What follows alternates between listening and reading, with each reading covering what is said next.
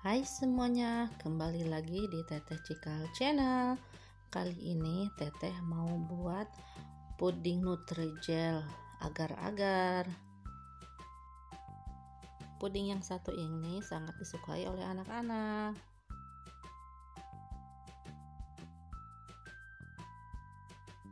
Masukkan satu saset Nutrijel. Tuangkan 6 sendok makan gula pasir Aduk-aduk supaya tidak menggumpal. Dan masukkan 700 ml air setara dengan 3 seperempat gelas.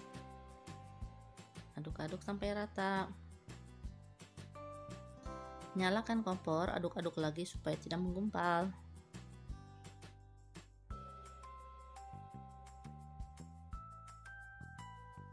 Setelah mendidih, matikan kompor dan aduk-aduk terus.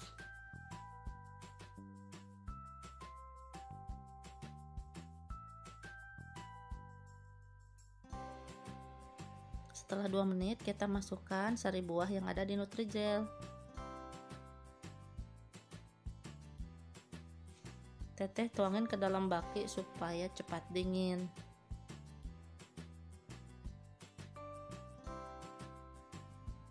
Setelah dingin, terus dipotong-potong.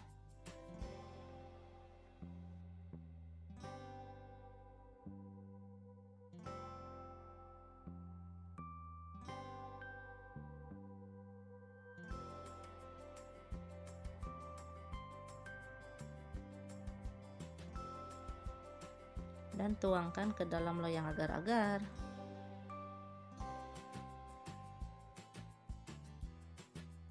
Nah, nutrigelnya kita sisihkan dulu.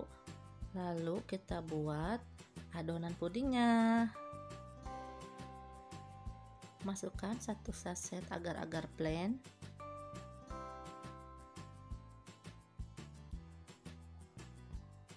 Tepung maizena 1 sendok gula 8 sendok